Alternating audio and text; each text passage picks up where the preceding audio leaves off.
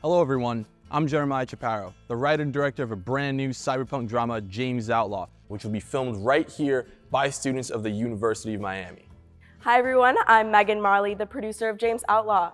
I'm super excited to work on this project. Ever since I read the script, I loved it. Our team is a diverse group of individuals whose passion for film is seen each and every single day. This film follows ex-police officer James Outlaw and the abrasive detective Corey Cohen as they investigate a series of crimes across Miami linked to a malevolent cult's attempt to communicate with supernatural forces. As Jeremiah embarks on his last semester here at the U, I want to give him the project that he deserves. This includes our fundraising goal of $10,000.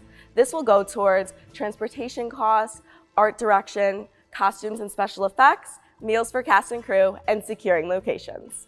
Taking inspiration from film and television such as True Detective Season 1, Upgrade, 7, and Dredd, this film will blend neo-noir visuals, techno-horror production design, and police procedural storytelling to create a cinematic experience that Miami has never seen before.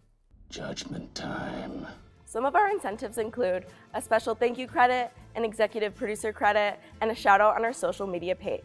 If you can't help monetarily, please share this GoFundMe with all your friends and family. We can't wait to have you with us on this journey. Your support isn't just a contribution, it's a game changer. So please head on over to our GoFundMe and be part of bringing James Outlaw to life.